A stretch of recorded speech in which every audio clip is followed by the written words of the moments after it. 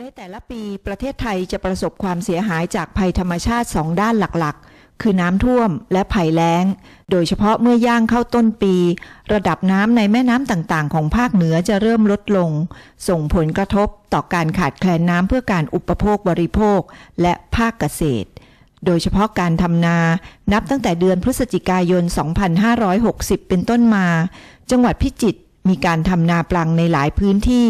และเพื่อให้การจัดสรรน้ำในช่วงหน้าแล้ง เป็นไปอย่างเพียงพอกับเกษตรกร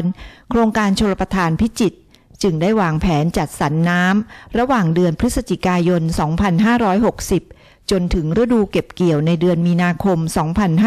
2561ให้กับเกษตรกรผู้ปลูกข้าวในเขตชลประทานประมาณ 380,000 ไร่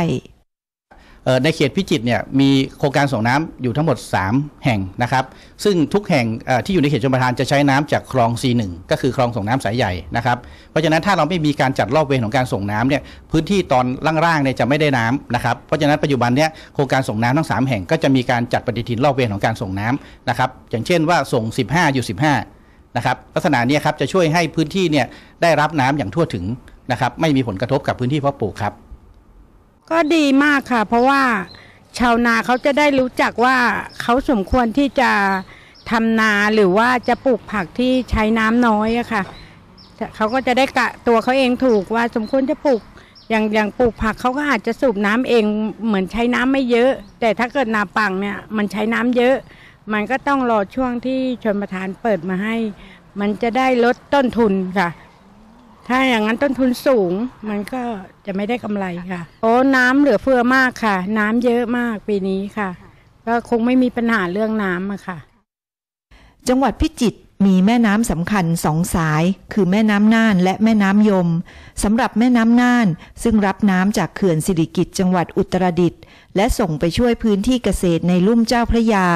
ขณะนี้ยังมีระดับน้ำเป็นปกติ ไม่น่าเป็นห่วงแต่อย่างใด ในส่วนของแม่น้ำยมที่อำเภอสามงามจังหวัดพิจิตร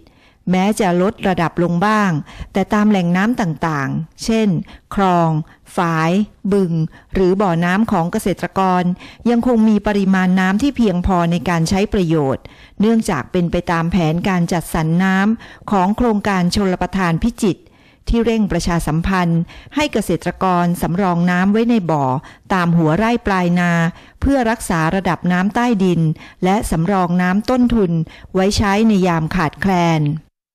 โดยเฉพาะในลุ่มแม่น้ำยมนะครับว่าในช่วงนี้สถานการณ์น้ำในแม่น้ำยมเนี่ยยังถือว่าปกติยังมีน้ำอยู่นะครับพอช่วงประมาณสักเดือนเมษาเนี่ยระดับน้ำจะลดต่ำลงนะครับเพราะฉะนั้นช่วงนี้เราประชาสัมพันธ์ให้ชาวบ้านเนี่ยเอาน้ำเข้าไปเก็บไว้ในบ่อยืมบ่อหลานะครับที่อยู่ตามหัวไร่ไปนานะครับเพื่อที่จะได้สำรองเป็นน้ำต้นทุนไว้นะครับเพราะว่าส่วนหนึ่งเนี่ย น้ำที่อยู่แม่น้ำยมเนี่ยเมื่อถึงเดือนประมาณเดือนเมษาเนี่ยน้ำจะลดต่ำและท้ายอย่างอย่างเช่นผมยกตัวอย่างนะครับท้ายไปที่ฝายยางสามงามเนี่ยระยะห่างของตัวฝายยางสามงามไปหาฝายพยาวังเนี่ยหลายสิบกิโลเมตรนะครับจะเป็นลักษณะที่เกิดเหตุการณ์ภัยแล้ง ลักษณะนี้ท้ายเนี่ยก็คือช่วงประมาณเมษาไปแล้วน้ำจะแห้งเป็นบางช่วงนะครับ เพราะฉะนั้นทางชมประทานเองก็จะมีการ ให้ชาวบ้านเก็บน้ำเข้าไปไว้เพื่อที่จะรักษาระดับน้ำใต้ดินให้สูงขึ้นนะครับ ส่วนหนึ่งบ่อต่อของชาวบ้านที่มีอยู่ก็สามารถใช้งานได้นะครับ ส่วนที่ชมประทานจะต้องสนับสนุนเครื่องสูบน้ำเราก็ได้วางแผนไว้แล้วครับ